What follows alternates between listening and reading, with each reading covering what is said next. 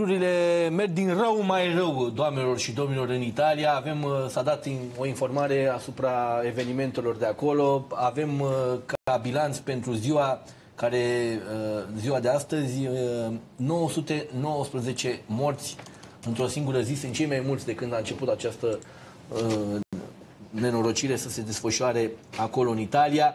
919 morți într-o singură zi în Italia și în egală măsură că te-ai gândit, da mă, acum sigur, se prăpădesc dintre ei, dintre cei care au fost uh, diagnosticați cu acest COVID-19 și la un moment dat s-a, terminat totuși această nenorocire într-un final. Nu pentru că uite că se produc alți diagnosticați, 4401 care au fost diagnosticați de ieri până astăzi în Italia cu acest COVID-19. Deci, pe de o parte, se, avem, acest, avem de-a face cu aceste decese dramatice și avem de-a face cu o serie nouă de oameni infectați cu COVID-19. În total sunt 86.498 de oameni infectați în Italia cu COVID-19. Foarte mulți. Asta e situația acolo. Acum, asigur că este cea care e de natură să ne îngrijoreze pentru că dau năvală foarte mulți români și aș vrea să, să citesc din domnul președinte al României. 9, 24 de ore, vârful anterior era de 793 la sfârșitul săptămânii trecute. Da.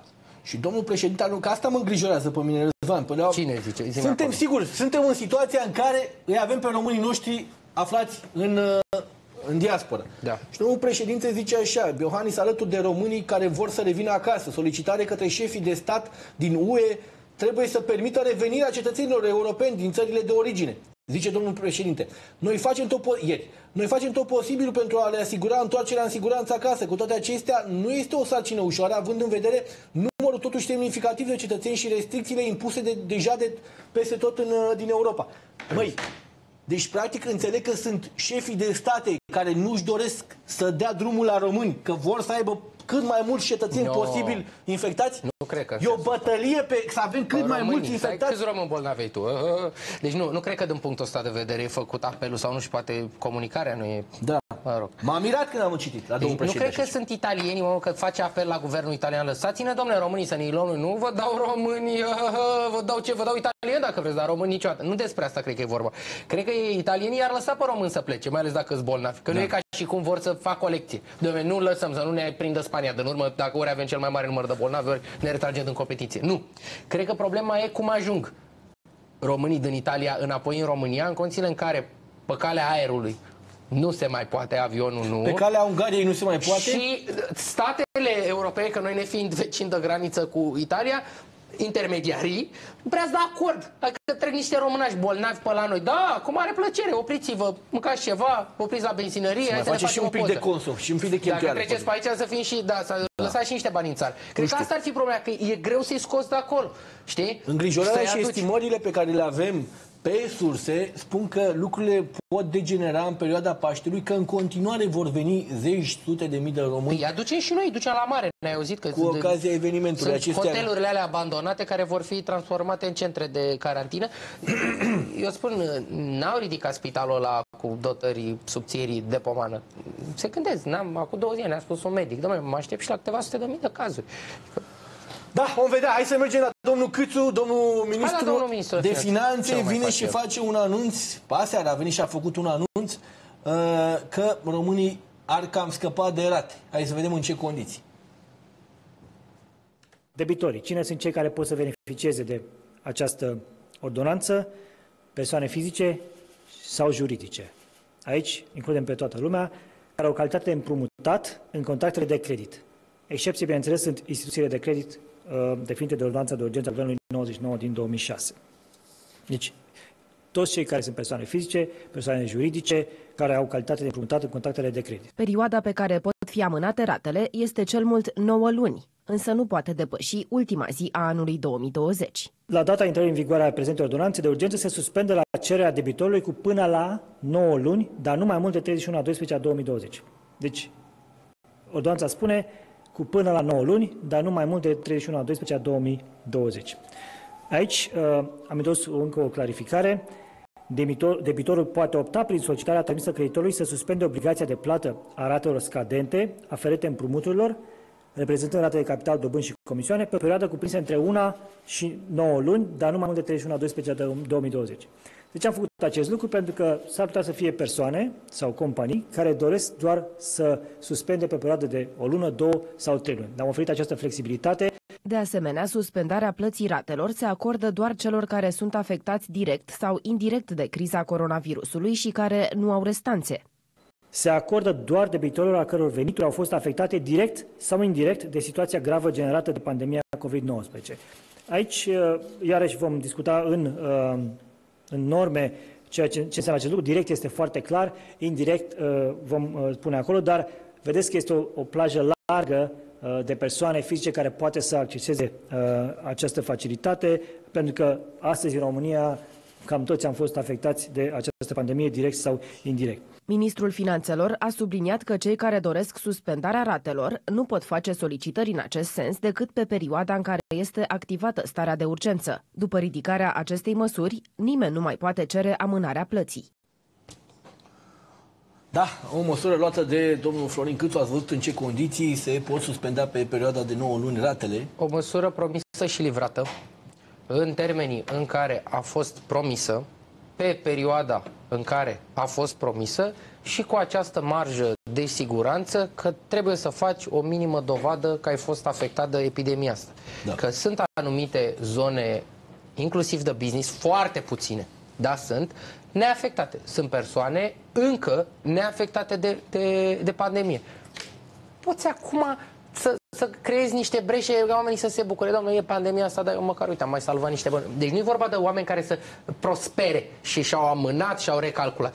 Vorba de oameni afectați pe care îi înțelegem și acum eu știu că în România băncile sunt extrem de urâte. Oamenii detestă băncile pentru că de regulă oamenilor le place să primească bani nu le place la fel de mult să-i dea înapoi, mai ales cu o dobândă. Nu spun că băncile sunt în niște... No. Băncile au un comportament destul de da. descătușat da. așa la noi au... în țară, că și, da. și permit. Cam își, per, își per, da, și spun, nu te da. obligă nimeni să-ți da. faci credit. Da. Dar asta este situația. Deci nu luăm apărarea băncilor. Spun doar că știm cu ce avem de-a face. Băncile vor să facă profit. Nu e rolul lor, nu sunt casă de ajutor reciproc, nu sunt niște prieteni care te amână cu datoria, nu sunt bani de la părinți care au uitat că ți-au dat și da, da. domnule, lasă, fă ceva de... Nu e, asta e banca. Asta e banca. Asta e rostul ei. Problema e în felul următor. Oricât de mult am urât băncile, dacă se alege praful de sistemul bancar, se alege praful de economia planetei. Pe de altă parte vin și cu argumentele din partea. Dacă se alege praful de românii care merg la bancă, se alege da. praful și de bănci. Păi da, s-a venit câțu cu varianta asta, domnule. Până la finalul variantă... anului, dacă aveți probleme, nu mai plătiți. Vedem ulterior. Ideea e, ideea e că am văzut care e critica. Da. Critica e următoarea. Păi da, mă, da, băncile nu pierd destul. Pentru că cei care critică acum măsura lui Florin Câțu vin cu această retorică emoțională. Se duc la datorii și spun, tu știi mă că băncile nu pierd? Nu, nu pierd? Nu, pentru că, uite, de exemplu, spune aici că dobânda restantă se capitalizează la soldul creditului existent, adică se adaugă creditului, dar se va reeșalona pe toată durata creditului. Și el spune, deci tot nu pierde banca, mă, nu iese minus? Nu, nu iese minus. Au găsit o soluție prin care să-și recupereze banii. Să nu. Și omul e nemulțumit. Bă, dar banca de ce nu? Eu sufer. Colegul meu suferă, familia mea suferă. Bă, banca de ce nu suferă? Ideea e că trebuie să ieșim în logica asta pe gugoasă. Scopul nu este să sufere banca. E ca la casino. Nu vrei să piardă casino. Nu o să piardă, mă. Pierde 2 lei la tine, câștigă 1000 în partea elaltă. Ideea e dacă ne ajută măsura asta sau nu și eu îți spun că să ai o suspendare a ratelor da. până la finalul anului E mai mult decât ne-am fi așteptat să producă guvernul României și eu cred că a negociat câțu, atât cât, cât s-a putut. putut. Cât s-a putut. Dar dincolo de asta... Vezi că e un guvern minoritar totuși. Am remarcat o măsură și de asemenea o măsură, o măsură pozitivă luată de Florin Câțu, care a înțeles că e important să nu se ajungă în șomaj tehnic. Important e ca uh, uh, companiile să-și continue activitatea așa cum pot în aceste circunstanțe uh, destul de drastice și înțeleg că a venit și cu o măsură compensatorie pentru cei care reușesc să-și desfășoare în continuare activitatea să mai scadă un pic din contribuții. Și vezi că și la creditele ipotecare intervine cu alte măsuri. Adică putem așa, eu înțeleg sentimentul ăsta, domnule, dar vreau să văd cum suferă o instituție, da. o corporație.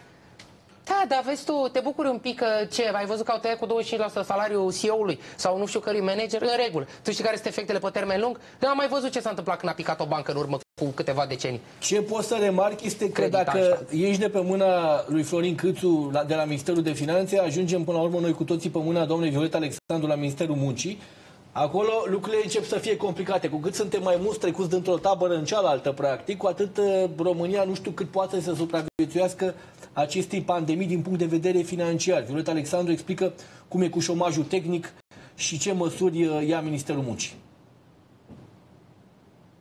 Am simplificat uh, uh, procedura de acces la aceste fonduri în sensul în care pentru solicitările adresate de companiile a căror activitate a fost încheiată ca urmare a deciziilor autorităților, respectiv pentru companiile a căror activitate este afectată de uh, această epidemie total sau parțial, pe baza unei cereri însoțită de o declarație simplă la care se atașează lista angajaților pentru care uh, deja s-a dispus măsura întreruperii temporare a activității uh, în sensul de intrare în șomaș tehnic, se pot depune documentele la agențiile județene pentru ocuparea forței de muncă. Violeta Alexandru a explicat că primul pas pe care trebuie să îl facă fiecare angajator este să își pregătească documentele, astfel ca la începutul lunii aprilie, pentru perioada 16-31 martie, să aibă documentele gata, să le prezinte la agențiile județene pentru ocuparea forței de muncă în vederea efectuării plăților. Angajatorii nu trebuie să avanseze de la ei plățile pentru șomaș tehnic. Tocmai aceasta este facilitatea pe care a pus-o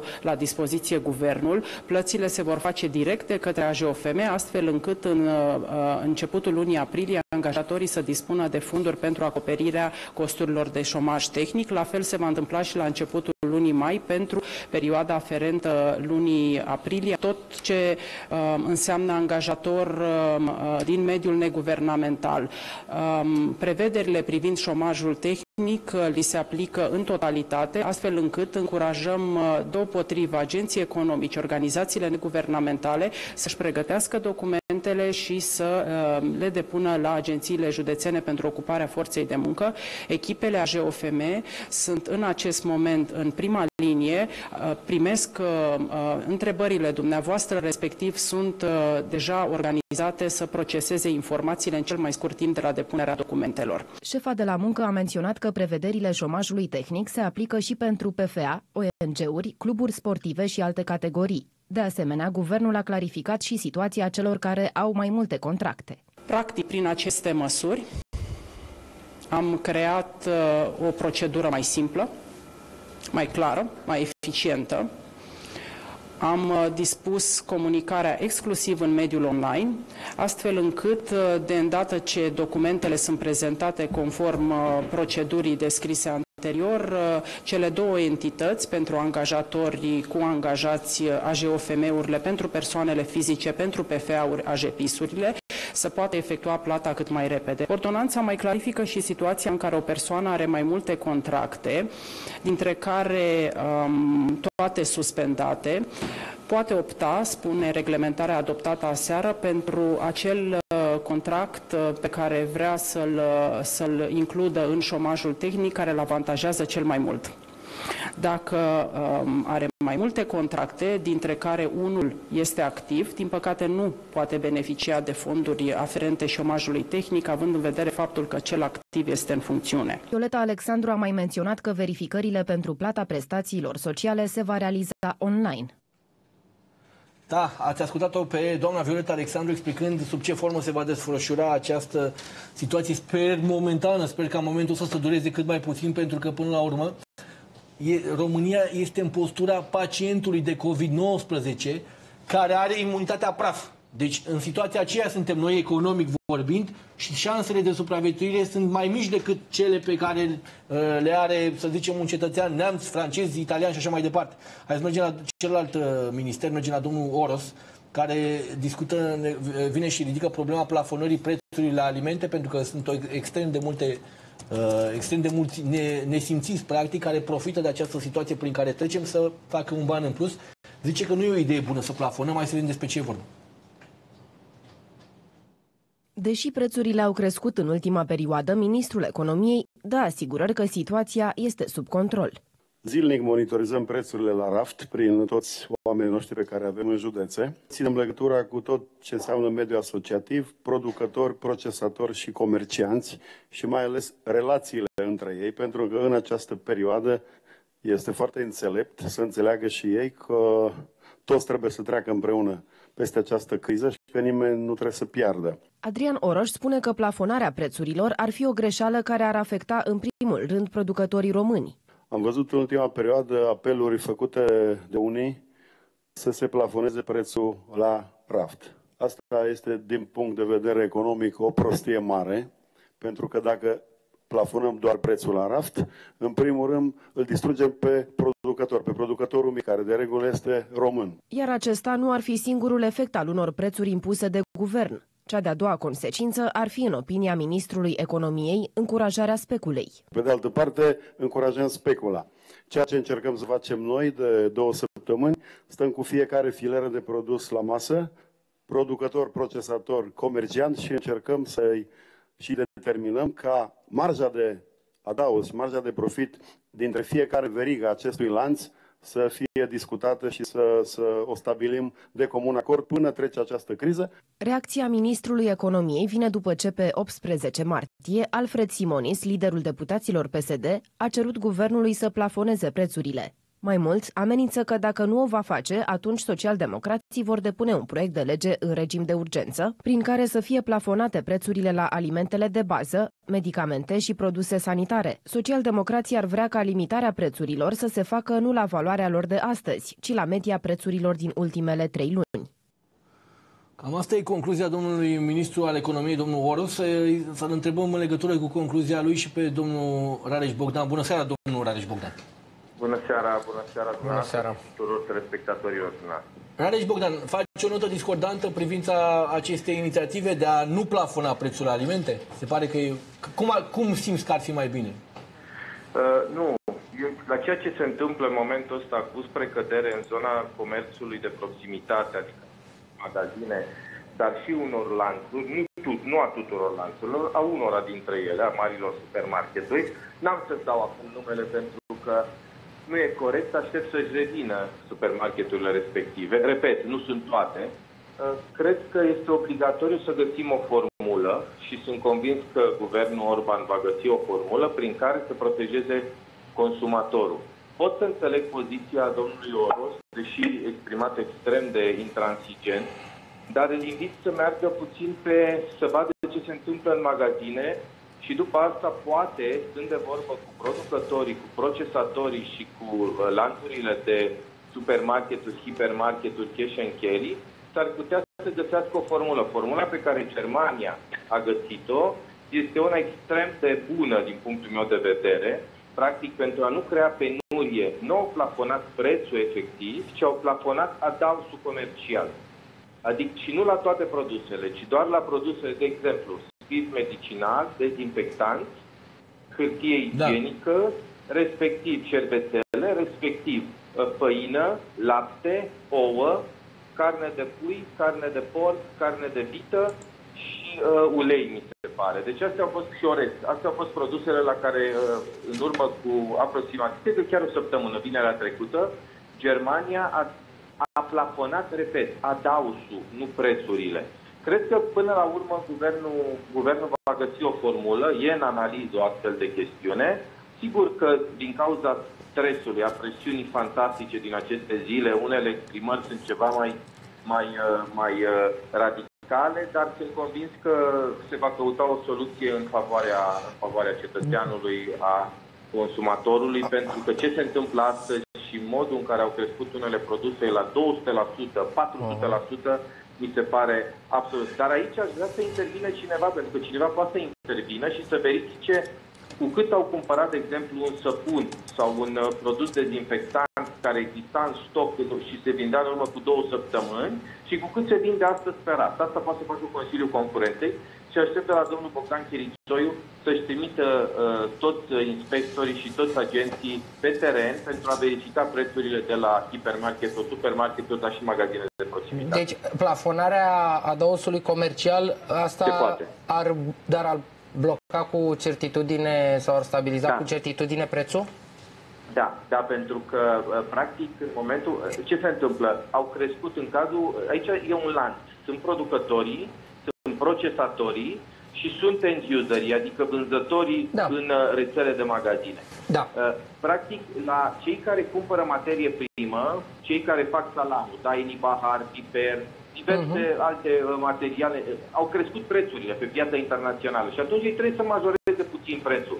Deci de asta spun că majoritatea dausul nu îi lași pe cei care au achiziționat, de exemplu, produse cu 3 lei și au ajuns să le vândă cu 12, da. cu 12 lei, deși în urmă cu 10 zile același produs costa uh, 4 lei 20 sau 3 lei 80. Păi deci asta s-ar ar, ar stabiliza prețul în magazine pe stocul existent. Pe Dar stocul existent, După dar ce în se același epuizează timp- stocul ăsta, că românului îi place să facă cumpărături, prețurile vor crește din nou. Da, unii și-au mutat mag- rafturile de la Kaufland în uh, propria cămară sau Da. în supragerie direct. Da. Eh, Dar, eh, sigur, e speriată lumea, nu poate fi acuzată în momentul ăsta la Normal. ce se întâmplă. Eh, Nu, se găsesc soluții. Deci eu cred că asta ar fi o soluție eh, onorabilă, acceptabilă, care este pe deplin eh, pe deplin în eh, elementul eh, economiei de piață. Nu poate nimeni să te acuze că vii cu o economie dirigistă. Repet, acum, gândiți-vă că seară Comisia Europeană și Parlamentul European a rupt practic toate barierele. În momentul ăsta nu mai există deficit pentru țările Uniunii Europene, nu mai există uh, uh, imposibilitatea de a se, de a se uh, face împrumuturi de pe piețe externe, de a da ajutoare de stat. Deci nu mai vorbim de economia de acum 30 de zile. Vorbim de o nouă economie și cel mai important este să reușim să protejăm cetățeanul. Repet, nu toți, uh, nu toți vânzătorii au, au procedat în felul în care au procedat unii, adică nu toți au majorat prețurile aberant. Dar A- eu am vorbit cu câțiva mari producători din România și procesatori de tipul Transavia, Ioan Popa, eh, Cristin, Agricola Internațional, cu jucători mari, Mandi, eh, și aceștia n-au modificat prețul la ieșirea din fabricile de alimente. Pui, eh, conserve de eh, salamuri sau conserve de, eh, de eh, pateuri și alte conserve. Deci ei n-au modificat prețurile, nici Scandia Sibiu n-a modificat prețul. Deci producătorii români și procesatorii au dat în piață exact la același preț. Și la Cu toate prețul la astea, pe cartof, rafturile când s-a făcut cartoful, cât era kilogramul 2 Radu? lei 50, 2 lei 7. Așa, Dacă și noi a ajuns mergeam la în cât? urmă Cu două, cu două săptămâni să cumpărăm, când ieșeați voi din emisiune, mergeam la cea mai apropiată piață de voi, piața Așa. Amzei, să cumpărăm cartofi, costa Da. 2 lei 70, 3 lei maxim, fiind o piață scumpă Amzei. Acolo, în regulă. Dar noi Ei. am difuzat imagini Cu lămâile, de exemplu. Acum cu e de- lămâi, cu cartofi. Am văzut cartofi să da. 7, 8, 9, 10 lei în unele piețe. Deci- Acolo cum, uh, cum îl face? Că acolo chiar e, uh, cum să spun eu, este golănia uh, vânzătorului, că nu știu dacă este și agricultor, că majoritatea sunt așa, mai mult samsar de legume, între cei care vând. a- ei, asta este o problemă pe care o rezolvă două instituții. O, pe de o parte o rezolvă ANAF-ul, eh, dar pe de ceal, de, de, în cealaltă, fosta gardă financiară, dacă vreți, care Da. da. are astăzi o altă denumire, și uh, obligatoriu Consiliul Concurenței. Cei care pot să ajute... Și cred că și la ANPC-ul. păstra- Uh, ANP, da, și ANPC-ul. Și absolut, ANPC-ul cred că absolut, ar putea interveni. Absolut. Deci Care cele trei instituții comisari trebuie are. să-și dea mâna și să ajute uh, co- uh, consumatorul. Pentru că, repet, eu pot să înțeleg că uh, există o mulțime de specialiști care au venit să ne demonstreze că în momentul în care plafonăm prețul efectiv, se produce penurie uh, și exact ca în vremea prohibiției, dacă ca în filme, și am ajuns să trăim ca în filme, uh, lumea se va arunca pe anumite produse, nu se vor mai aduce anumite produse pentru că pe piețele internaționale cresc prețurile. Dar Da. da. cu toată nebunia asta care s-a creat, trebuie să învățăm câteva lucruri. Unu, că trebuie să ne sprijinim producătorii autohtoni, Bravo, că da. trebuie să mâncăm produse românești, că trebuie să învățăm că ceapa de la Târgu Mureș sau de la Pașcani este uh, cel puțin la fel de bună ca cea importată, dacă nu mult mai bună ca cea importată din China, pentru că noi astăzi importăm ceapă din China, din Iran și din Turcia. Importăm usturoi și pătrunjel și lucrurile astea care păreau acum niște glume, uh, a- astăzi par uh, niște realități care ne dau peste cap, pentru că... e o Dar problemă are cu și Bogdan, transport. acum ai vorbit cu mari producători și așa mai departe, ai stat de vorbă cu ei, mă rog. Dar dă un telefon și ministrului agriculturii. Mai întreabă, ce mai face Ministrul Agriculturii și cu premierul am să mă văd. Am încredere că premierul Ludovic Orban va găsi o soluție acceptabilă, iar eh, Ministrul Agriculturii eh, va înțelege că sigur că trebuie să protejeze eh, marile lanțuri și marile asociații din domeniu și e normal să ai un parteneriat cu ei, dar mai important decât oricine, fără pic de populism, e pura realitate, este consumatorul. Culmea este că cei afectați sunt exact pensionarii, cei care ies două ore pe zi din cauza stării de necesitate, stării de urgență și care nu se deplasează până la Metro, la Selgrot, la Cora, Carrefour, Kaufland, Mega Imag sau care ori mai fi, Lidl, Profit, să le zic pe toate să Da. nu amendeze nimeni, ei, ei, o șansă și așa mai departe și care sunt nevoiți să meargă la magazinele de proximitate sau la piețele de cartier, unde prețurile au luat o razna total. Și asta trebuie să o rezolvăm cumva. Cu Mulțumim. ajutorul ANFC, Consiliului Concurenței, ANAP-ului și, bineînțeles, implicat fiind Ministerul Agriculturii. Mulțumim pentru intervenție, Rareș Bogdan. Uh, Uite, o chestiune foarte interesantă ne atrage atenția o specialistă în domeniu care de asemenea urmărește emisiunea. Me, specula nu mai e incriminată penal în România. Ah, Specula. s-a mai rezolvat. Deci specula nu mai e incri- nu dă acum cu criza asta. Da, în da, general, în general. specula nu mai e incriminată penal. Deci, practic, dacă nu e incriminată penal, ea poate, ea, ea este într-un spațiu a... Da, uite, de exemplu, singurul cadru legislativ în care poate interveni o instituție a statului, mă refer la Autoritatea Națională pentru Protecția Consumatorului, e următorul. Intervine pentru a nu se profita de o situație a unui consumator sau grup de consumatori. Situația fiind criza asta, să nu profiți și să vii Există cu un o, preț. o, o breșă pe care poți să Da, intri e ca... o- cam așa e definită. alegi, legi. da. Dar specula nu mai este ceva uh, Da, incriminat. Dar uite, incriminat penal în momentul de față, poate ar fi un moment bun să Incriminat- reluați în discuția. Că spui, băi, haideți să mâncăm usturoi românesc, haideți să luăm doar ceapă românească. Bun, unde o găsești? O găsești în, în marile lanțuri de nu hipermarketuri? trebuie să creezi și pre, uh, premiza de a o găsi. Te duci în- într-o piață agroalimentară? Nu știu dacă te duci într-o piață de Adică agroalimentară. eu am înțeles, bă, și cu treaba asta. Cu eu am mai zeci zis, de oameni, am mai cu zis treaba asta. tarabe, cu Răzvan, am ce- mai zis ție, da, da, și granițele astea pe care le avem, în interiorul granițelor ăstora pe care le avem și pe care unii dintre cei care comentează i-am ascultat așa extrem de inteligent explicând că, domnule, asta cu granițe e o treabă depășită, domn. Uite că constatăm odată cu această nenorocire că nu e nimic depășit în legătură cu granițele și că între granițele astea când se întâmplă o nenorocire suntem noi cu noi și ce știm să facem.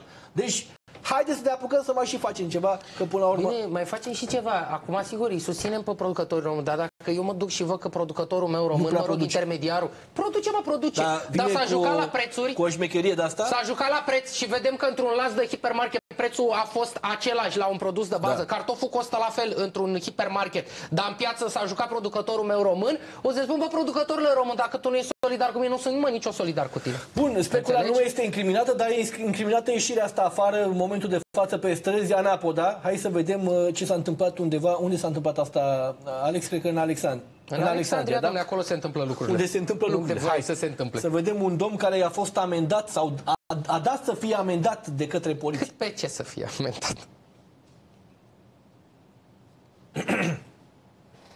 Ia. Nu se aude. O să primești mai multe. Dacă nu vrea să tacă dumneavoastră, am Păi cum să-mi dai amendă? Pentru ce? Poți să-mi dai un avertisment, dar nu amendă. Zice asta. Ești tu în măsură să-mi spui mie? Poți să-mi dai o amendă? Amendă? Cum să-mi dai amendă? Pentru ce să-mi dai amendă? Ți-am explicat pentru ce să dau amendă. Bun, am zis, am... Omule, nu ai voie să ieși afară, da? Uite, văd cum oamenii ăștia și întreabă. Cum? Ia uite, pentru situațiile astea ai voie să ieși afară. Mata, de ce vrei să ieși afară? Să iau tratamentul meu. Auzi, Bun, și eu pentru ce să-mi dai amendă? Poți să-mi iei un avertisment? Băi, băiatule, mă fac că nu te-am văzut. Gata, termină că... Bun, dar pentru ce să-mi dai amendă? uite ce mă fac că nu te-am văzut? Pentru ce să-mi dai amendă? Termin treaba și nu ne mai întâlnim asta. Bun, dar nu-mi dai amendă, că e pentru ce te rog frumos, pentru Băi, ce ți-am să-mi dai explicat că amendă? am pentru ce să dau amendă, dar tu ești căpcăun, îți spun de 10 ori. Băi, tu auzi, văd, termin, mă, și tu cu... Dă-mă Deci amendă, dacă nu ne e mai problemă. vedem astăzi de încurcăm, ai înțeles? Dă-mă amendă, vreau să-mi dai amendă, da. Ei, am Stai așa să te bag pe live, mă. Că, bă, pentru că, pentru că îmi dai amendă, stai așa, de ce pleci? Pentru ce să-mi dai amendă? Pentru că duc o căruță de nisip ca să, să iau, să iau mâncare la copii? Pentru ce să mă pun în mișcare? Dumneata pentru asta vă da legile astea ca să vă dați, să vă dați spectacole, să dați amenzi la lume? Bosule, de ce pleci, bă? Stai bă așa, de ce pleci? De ce pleci, bă? În Alexandria, șefule, vedeți ce se întâmplă în Alexandria, ne dă amendă degeaba. Nu e ora 12, n-a trecut de 12 să ne dați amenzi, băi! Poliția română! Poliția română știe să dea amenzi. Ce 12, mă? La, despre ce 12 e vorba, mă, nene? Că nu înțeleg asta cu 12, n-am auzit niciodată. Nu e, nu, e, nu scrie nicăieri de ora 12. Scrie ora 10, scrie ora 11, 1, sunt intervale orare care nu au legătură. Ce 12? Și noi suntem aici, în, în general, niște contestatare a acțiunilor polițiștilor și, în general... Păi și la- aici sunt un contestatar. Dar, Nu așa trebuie gestionată problema. Dar- Să-l întreb pe om dacă e căpcăun, domne, ți-am spus de 10 ori de ce-ți dau amendă, să stea să ții pe ăla, să ia să strop de salivă, să împroaște Exact, pe acolo. nu e Stai, mă, o procedura. secundă, că nu mergea cu niciun sac de nisip să ia de mâncare la copii, că n-am unde era sacul deci de ar fi nisip. trebuit o intervenție mai riguroasă în privința acestui individ și nu una în care plece La așa 10 august n-am văzut panicat. angajații Ministerului de Exact. Interne, jandarmerie în acea speță stă la discuția dumneavoastră, protestați pe ce motiv împotriva doamnei Carmen Daniela? Dar păi haideți să vă explic, de la ordonanța 13 am rămas cu o sensibilitate la PSD. Și nu mi s-a părut că așa s-a intervenit. Aici când orice golan, că ăsta e un golan, da. că să nu avem discuții. E golan că se vede pe el că e golan. Trebuie să stau să fac o analiză comportamentală prea vastă ca să-mi dau seama că aveam de-a face cu un golan care e nemulțumit, că vrea avertisment, nu vrea oricum amenda e foarte mic, 50 de lei amenda. Dacă o plătești în 15, e foarte puțin. În condițiile în care aseară în metrou intrase unul cu acordeonul și cânta. Dar seara în metrou era unul cu acordeonul, frate. Le meu. Da? Da, era cu acordeonul. Omul era cu acordeon, ne-a cântat cu Nu acordeon. că nu vrea bani, vrea doar să E mai pentru plăcerea destindă noastră. atmosfera tensionată din țară. Asta m-am uitat fix, mă gândesc, dacă începe și din gură, e clar. Să ne facă o cântare frumos. Deci el era cu acordeon. Deci cam asta e nivelul. Omul a ieșit cu acordeon. Câți bani credea el că face acum cu acordeon? Că avea pantofi curați, că de când noi avea niște blugi pe el, nu era un caz de ăsta social. Și chiar dacă e caz social, în momentul de față, ai măsuri de protecție socială, primești niște bani. Omul argumentează cu faptul că, domnule, are nevoie să-și crească copiii mă, și ducea da, nu știu da, ce da, naiba, cu ducea care de acolo nevoie. până acolo. Ce vreau să remarc în Nu acest părea context. un om atât de amărât. Nu, da, și dacă Omul ducea. amărât n-are atâta tupeu în fața autorității. Răzvan, Și dacă ducea. Și dacă Ia ducea. altă atitudine. Trebuie să înțelegem că cu cât uh, avem o atitudine mai derăsătoare cu această, cu această condiție impusă de a sta în case, cu atât statul în case va dura pe o perioadă mai lungă. Adică, până la urmă, e logic. Cu cât suntem mai, uh, mai uh, relaxați în privința asta, cu atât a- se va relaxa și această perioadă de- în egală măsură. Luăm o scurtă pauză, după care ne întoarcem cu o poveste tare de tot, poate cea mai, oh, cea mai bună poveste iscată de acest COVID-19 Că am pe, prezentat, pe teritoriul nostru. am prezentat oameni care se plimbă de proști pe străzi și am prezentat și oameni care se plimbă Cu treabă. cu un sens, domne, cu un sens. Pauză.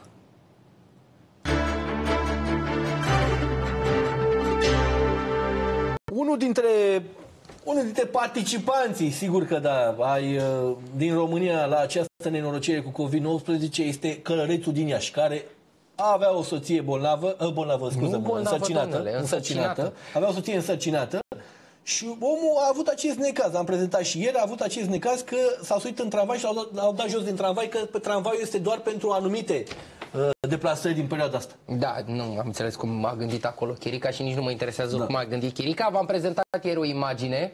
Sergiu, îl cheamă, are 22 de ani, are două fetițe și mai proaspăt are și un băiețel acum. Să-i trăiască. Da, s-a fost foarte operativ.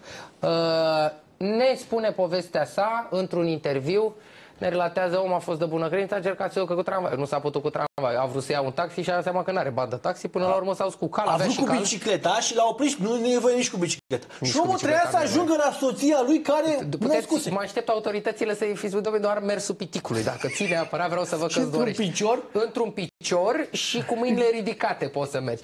A urcat omul pe cal, s-a dus, stă la 50 de kilometri de Iași, vă spun, n-avea cum să o ia chiar la pas, că nu mai ajungea în timpul, îl găsea pe copil când dădea capacitatea. Îl găsea la bacalaurea pe copil dacă se ducea pe jos.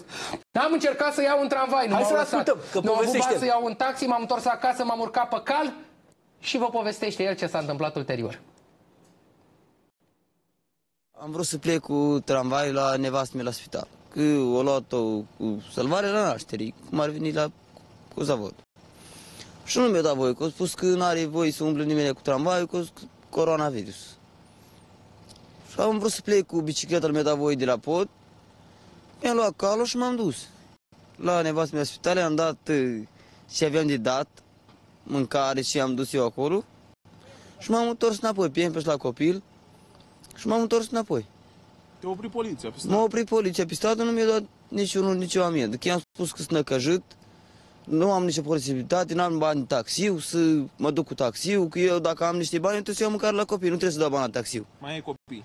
Da, am două fete și un băiet. Și eu nu aveam cum să dau bani la taxiu. Că eu puteam să iau mâncare la copii decât să dau bani la taxiu, să mă plimb eu cu taxiu. Ce ți-au zis polițiștii când te-au oprit? O zis că n-am voie cu, cu animale prin oraș, că poate să-mi dea amendă și am spus, puteți să-mi dați amendă. Pentru mine nu e nimic, că eu trebuie să mă duc să-mi, să-mi fac treaba la nevastă mea la spital, să-i dau și am de dat. Și atât e tot. Tu n-aveai nicio posibilitate să... Nu aveam nicio posibilitate. Nu aveam bani de taxiu, nu aveam nimic. E Totul și- din cauza Da. noilor reglementări. Da, totul din cauza, cum au spus ăștia, cu coronavirus. N-ai cu discursi, deci eu, ca să vă spun așa drept, eu nu câștig mai mult de 30 de lei la zi pentru copiii mei. Acum, trei cum copii este? acum. Am trei copii. Tu ai stat înainte la Răducăneni și ai venit și ți-ai făcut casă în Dallas. Da, da, da. Cum te descurci? Foarte greu mă descurc în trei, trei copii, înțelegi? Trebuie să mă descurc într-un fel ca să le dau, să le rănesc, că n-am cum să stau eu să mă uit la copiii mei. Calul e singura ta sursă Da. de venit. Calul, uite, să audi că vine acum. Calul, eu cu calul mă descurc. Și când ai aflat că a născut soția? Te-a sunat sau cum? Da, da, da. Bă, m-a sunat de la un vecin că eu nu am nici telefon. Eu nu am bani să-mi iau telefon, eu nu am bani să... Și nevastă mea are un telefon simplu care îl folosim noi în familie. Un mic telefon. Și când ai aflat că naște, ce ai făcut? Ce pot să fac? Am vrut să mă duc la ea, să-i duc ce are nevoie, ca orice tată de copil.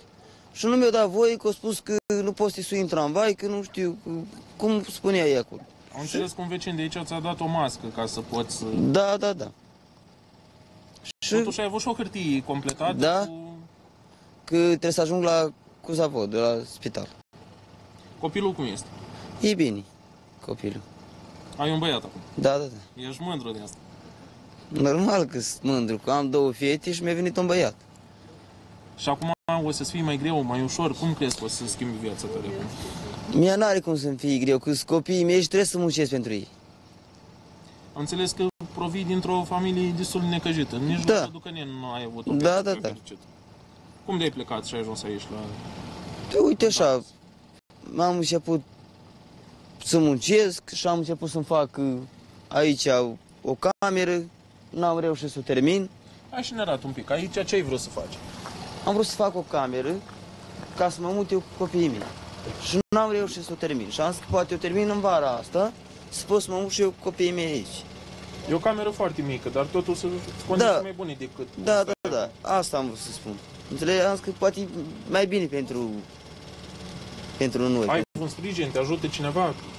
N-am niciun sprijin, nimic. Eu singur el. Eu nu, nu am nici ajutor social, n-am nimic, nimic. Aici nu aveți nici lumină, n Nici lumină, nimic. nici căldură, nimic. Nimic, decât la sobă.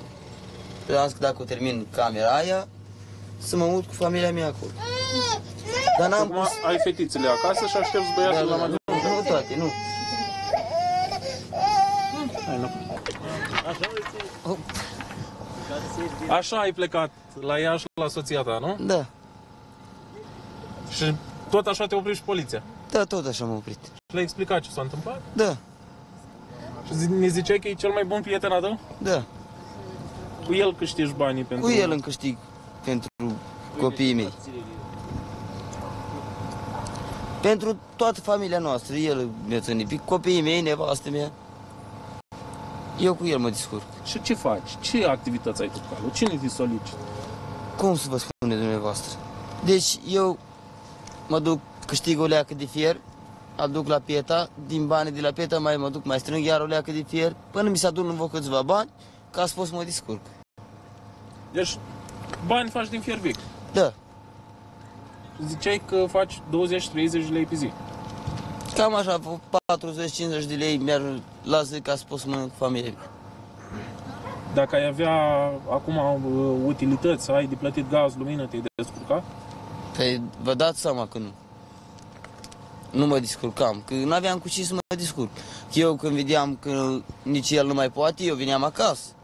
Că eu nu aveam cum să trag de el, că mâine nu mai avem, nu mai mâncam de la el.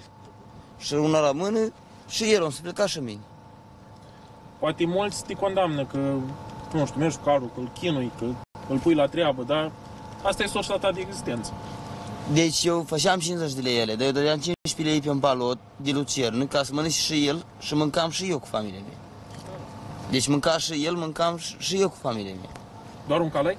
Da, doar unul. Ve, putem să-l încadrăm juridic la scoaterea animalului de companie la plimbări. Poate să fie și așa. Dom'le, are acest cal animal de companie? Nu? Se poate. N-am mai văzut un om călare pe cal de la când a ieșit nuțul cămătarul de la închisoare. Iar, în până oraș n-am Pe mai la văzut. izolare tu penitenciar. Că fusese izolat de oamenii lui. Bă, Eu nu înțeleg nici argumentul ăsta. N-ai voie cu calul până în oraș. De ce să nu ai voie cu calul până în oraș, în primul rând? Eu ar fi o întrebare. Și vin și cu o completare, o întrebare ajutătoare. De ce să n-ai voie cu calul în oraș? Câtă și vreme? de ce are voie poliția călare? Da. Deci dacă jandarmeria poate să meargă pe cal, poliția poate să meargă pe cal, Da. înseamnă că acest cal nu e un lucru pe care să nu ni-l dorim în oraș. Eu aș vrea să văd mai mulți cai prin capitală și mai puțin cai putere. Că n-am auzit de la cai să se polueze intens sau să avem uh, trafic aglomerat pe DN1, mai mulți cai uh, au fost astăzi prinși într-un ambute. Nu, domnule. Cu calul te-ai dus, te-ai strecurat, te duci pe străduțe. Adică ai voie cu trotineta în sensul că uite-te și tu. Am Între cal și trotinetă, eu vreau să vă călăreți, nu trotinetiști. Ca să n-avem Eu sunt E clar. eu sunt cel mai mare susținător al mersului călare în oraș. Aș vrea când ne mai liniștim cu nebunia asta, cu pandemia asta Plus că nenorocită, dă și o eleganță, Răzvan. să se legife... Da, da, Altfel mergi călare. Altfel, și cum ați venit? Am venit călare. Decât cu Unde trotinetele lași eu astea calul? Păi care- lăsați-vi acolo. În... Unde lăsăm calul? Unde se lasă calul? Legați-l de... Știi? Deci cal, domne, ar trebui să merge și vreau să se legifereze transportul călare în oraș și eu chiar cred că Nu, e nu, ceva de dar- viitor. dar știi că se spune ne des- vom întoarce la mersul călare. De, despre modă că e ciclică. O să Bineînțeles. vedeți că o să fie, o să vină la mod, din nou la modă mersul pe cal. Dar vreau să mai remarcăm un lucru, Răzvan, în legătură Te cu rog. acest călăreț. Remarcăm. În timp ce dădea acest interviu, nu știu dacă se vede în cadrul ăsta, În cazul ăsta nu, dar e un mic Dar incendiu în pe spate, cât nu? ce mergem, pe cât ce, Are pe un măsură foc. ce parcurgem în interviu, o să vedeți că la un moment dat e un incendiu care se desfășoară. E un foc, da. Este, într am Dom'le, ce observat și foc eu de am- e incendiu? am încercat să-l În ignor. toată regula. Arde ceva în spate, Arde da. ceva. Confirm că, într-adevăr, arde ceva Deci în omul pe spate. măsură, el explica problema cu calul. Asta e important. Le luăm pe rând, Radule. Momentan nu avem pandemia asta. Parcă Păcat, și vă vedem Arafat incendiul ăla. fugind în spate cu, Cu găleata telefonul, de apă, cu o găleată nu știu de ce, apă ce cu acolo. fo- Aici este Uite-te și tu, în Să- spate se într-adevăr, e un desfășoară un incendiu, cum, se, cum sunt incendiile serioase. Uite-te și tu făcut acolo, de acolo, dar el... Nu știu ce să spun. Le luăm pe... Le luăm pe Hai să, nu asta e prioritatea pe- noastră. Da. Deci, într-adevăr, e și un incendiu în spate, dar noi ne-am concentrat mai mult pe povestea omului. O poveste incendiară. Poveste incendiară, da. tânsoare și un incendiu în spate, dar asta e într-un alt episod. Nu e să nu le amestecăm. Avem alte Hai să nu urgențe. dramatizăm, totuși... Da, dar îmi incendiu- place că lumea e relaxată, adică Da. nu e ceva gen- și arde un... Da, e un, Ei, e un dar câte incendiu n-au mic ars acolo. până la urmă? Da, uh, foc am mai văzut, Aici, beau pe da. mineral. Era și o înregistrare în acest sens. Mie îmi place, eu am devenit un fan al acestui domn. Da? În primul rând. Bă, dar spune asta, trebuie implicat ca autoritate locală, în sensul că vedeți că avea o problemă, i-a găsit soluție. Și Despre avea asta e și vorba. adeverința la el. Că la adevărat avea Adeverință, hârtie, tot? da, normal, Nu avea e, și bă, fără nu, adever. sistem. Avea declarații, avea mănuși, avea mască pe față. Avea- Ăsta e cel mai responsabil cetățean pe care l-am difuzat de la declanșarea pandemiei până în prezent. Deci el nu trebuia avertizat de Sergiu poliție. Dă pe lângă Iași. Un El, băiat de pe lângă trebuia, Iași. el trebuia recomandat de poliție. Uite, domnule, un exemplu de individ care, uite, înțe- a înțeles situația prin care trecem, n-a insistat să meargă cu tramvaiul care era blocat pe Nu, toate... domnule, omul a respectat regulile. A zis, m-am luat bicicleta. A venit primară, îmi place că e Deci- foarte eco. Nu, dar găsește Ai- soluții. Ei lua, dacă îi luai și calul, vă spun că venea călare pe altceva, vă- venea călare pe o vacă, un venea măgăruș pe un ceva Găseau găsea el altă acolo. soluție, nu- Un deci nu câine mai putea- mare de stână se fă, găseau soluții pe Deci acolo. cu oameni de genul ăsta trecem prin această pandemie. Dacă ar fi și bă, cei Și de la vezi că a minister... crescut și natalitatea. Da. Că e la treilea copil la Deci 22 de omul ani. are treabă, Ăsta nu se omul oprește aici. vrea să desfășoare. Abia a început. Exact, exact. El vine, produce... Dar uite, Produce și copii, produce și soluții. Are focul ăla în spate, ăla e singurul lucru pe care... Dar nu ne l-a- luăm din Nu atâta. l-a văzut că îi dădea de cap și eluia. Vă spun Deci că o rezolva spunea și... Puneți un pic pe pauză că mă duc să sting și un incendiu aici. În spate mă tot. Sau la călare, fac cu apa așa. Unde rămăsese? Aveați adeverință? Păi, dar nu umblu fără adeverință. Nu se poate. Mi s-a părut un cetățean Extraordinar. responsabil. Am dat și o veste bună cu ocazia acestei Îl acestei felicităm pe pandemii. această Îl cale pe felicităm și așa Sergiu mai de pe departe. lângă Iași. Uite, spune că s-a dus primul echipaj de poliție, l-a lăsat în pace, al doilea l-a oprit poliția locală. Că aș vrea să atrag Ăștia atenție. sunt, ăștia Noi sunt. cunoscuți fiind uh, adversarii Da. declarației poliției locale, ca instituție. Nu ne place poliția locală. Cu o poliția locală. Așa, spune felul următor. M-a oprit un echipaj de poliție. I-a fost milă de mine, m-a lăsat să plec. Pe urmă m-a oprit un echipaj de la poliția locală. Ăștia au râs de mine, m-au luat la mișto. Mai apoi m-a mai oprit un echipaj, au fost de treabă, nu m-au amendat. Cine a râs, mă? Poliția locală. Sergiu, când mai vezi poliția locală, râs, mă, tu de ei.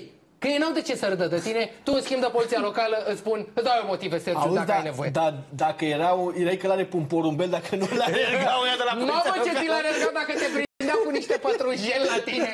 Dar nu te reținea poliția locală. Ei nu sunt buni pe genul ăsta de infracțiuni. Dar dacă te-ar fi prins... Mă, să nu spui că ai venit să vizi niște zarzavaturi. Că te arestam, te alergam. Dar nu alergau porumbei Păi pe alergă parcuri. porumbei pe parc. Cele, poliția locală Cele specializată. priveze. Cât și în străinătate, mă, când are FBI-ul câte un caz de ăsta, de niște porumbei în, uh, în ăla, cum se numește, mă, Central Park. Da. Sunați la poliția locală din România, ea sunt specializați pe a alerga Să mai porumbei în dăm parc. și o veste bună, suntem într-o continuitate de vești bune în această pandemie, aflându-ne, uite Știi ce a că făcut calul se cât... întâmplă lucruri frumoase. Hai că e frumoasă și asta. Da, Da, zici. ce a făcut calul cât a stat în maternitate? Nu, trebuie... impor- trebuie... A păscut iarba din jurul spitalului. Deci, practic, a avut un Deci s-a proces integrat perfect, ecologic, da? Al, Noi sunt, România e făcută ca să mergem cu calul, că ai văzut în spatele blocului. Ai un petic de verdeață. De ce crezi că e peticul ăla de verdeață? Să-ți config- parchezi mașina? e configurată pentru cai. Ca să vii cu Da, căluțul. Hai să dăm vestea asta extraordinară, că Hai, vreau să hai și cu terminăm vestea asta, că săptămâna. e o veste bună. Considerați, uite, vine domnul, mergem către Consiliul Județean Neamț, unde se cumpără cu ocazia acestei pandemii jante de aliaj cu 900 de lei bucata, anvelope de iarnă, Vezi că le-a luat bine. Coforașe de cauciuc, tăvită pentru portbagaj, memorie desktop uh, SDD de 65.000 de lei, dar și sisteme desktop uh, de peste 58.000 de lei. Calculatoare, adică. A, sisteme de cod.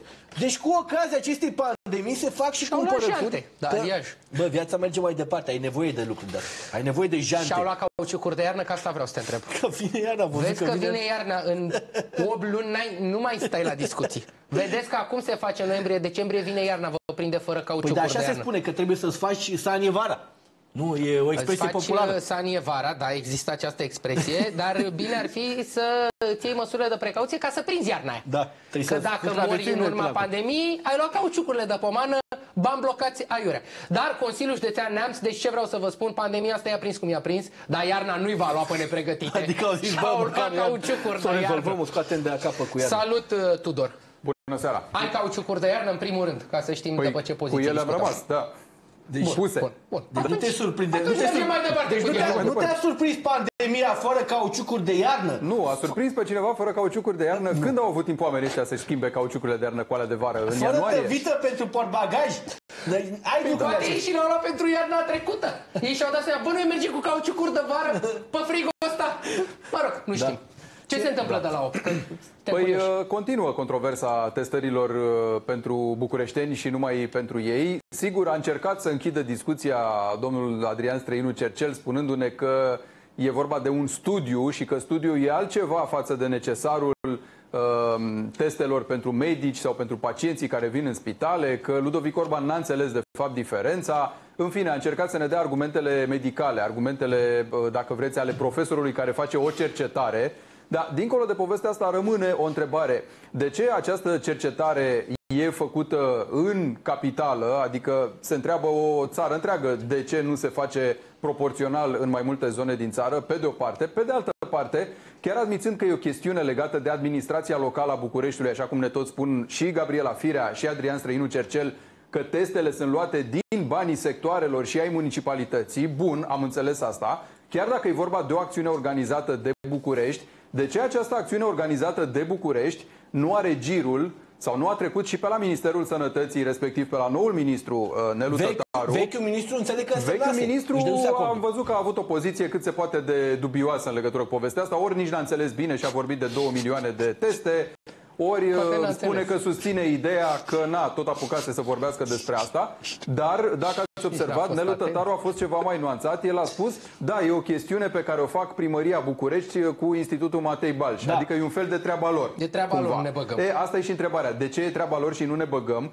De ce premierul nu își dă girul pentru așa ceva? De ce ministrul sănătății nu dă girul ferm uh, acestei acțiuni? Și, în general, când faci o astfel de testare, fie ea și cu teste rapide, fie ea și cu valoare de studiu epidemiologic sau cum să o mai uh, chema el, nu uh, ai o coordonare centralizată, că toți suntem în situație de urgență, că toți suntem într-un comandament pentru uh, situații speciale și un grup de comunicare strategică. De ce nu facem povestea asta? cent- Încercăm să vedem care sunt rațiunea, uh, rațiunile, de fapt, pentru care lucrul ăsta există separat și există la București. Care-i Cu sensul, primarul până? general Gabriela Firea o să stăm de vorbă în câteva momente, o să încercăm să ne uh, dăm seama care sunt uh, argumentele și o să auzim și strigătele de disperare ale medicilor uh, care spun pe de o parte că nu au echipamente la îndemână sau că încă n-au ajuns la ei. Da, da știu că ați mai auzit povestea asta și acum o săptămână și Da. acum două, dar există niște mărturii pe care acești oameni le fac în continuare și încearcă să ne avertizeze că ce s-a întâmplat la Suceava se poate repeta. Uh, și a spus-o și noul ministru, Nelu Tătaru, de altfel. Uh, pe vremea când comunica ceva mai mult și era mai uh, disponibil, a făcut o evaluare a cazului de la Suceava, de unde tocmai se întorsese și a zis că a fost o combinație uh, acolo, un fel de bombă, un cocktail uh, exploziv, dar care, iată, se poate repeta și, și în alte părți. Asta pe de o parte cu echipamentele. Uh, Pe urmă, legat de asemenea de povestea uh, testării pacienților care intră în spital, ați văzut că s-a schimbat din nou, după numai câteva zile, acel algoritm al Institutului de Sănătate Publică. Acum se testează sau ar trebui să se testeze și toți pacienții care prezintă simptome de infecții respiratorii, de boli asociate căilor respiratorii, uh, mai ales după ce am văzut că s-a întâmplat și la Timișoara, acest caz halucinant al Ah, uh, da, unei, da. un, unuia dintre decedații Au zis că are comunicați pneumonie. aseară, da, care are pneumonie, care n-a fost admis în spital, nu e foarte clar din ce motive, care deși s-a prezentat la spital de vreo două ori, E primul a fost care a trimis murit acasă. cu pastile. Primul pacient Da. care a murit acasă. Sigur, acolo autoritățile au încercat să spună că a fost vorba și de o minciună din partea lui, că n-a zis că avea uh, contact uh, cu persoane care veniseră de afară, indiferent de povestea asta. Simptomele înțelegem că erau evidente ale unor probleme respiratorii, ale unei pneumonii, să zicem. Uh, întrebarea rămâne, pentru ce motiv acest pacient nu a fost testat dacă tot aveau medicii, medical vorbind, de ce nu au avut această suspiciune că s-ar putea să fie infectat? Și chiar dacă avea această pneumonie, de ce n-a fost totuși reținut în spital și a fost trimis acasă cu pastile? Deci vedem, scăpare cu, întrebări. stă, cu scăpare, că fiecare zice că e vorba de câte o mică scăpare. Scăpare cu scăpare se face tabloul acestor inadvertențe, acestui dat cu dreptul în stângul la nivel național. Uite că avem în fiecare județ aproape medici infectați, medici trecuți pe bară. Ce se va întâmpla cu ei? Vorbim și cu cei de la ambulanță, să vedem în ce măsură și ei care intră în contact cu foarte multă lume pentru tot felul de, de patologii Dacă și de sunt probleme echipați, medicale, dacă sunt echipați și dacă au ce le trebuie și cum funcționează lucrurile și pentru ei. Tudor Mușat, pe B1 TV, să aveți o rămânie bună în continuare.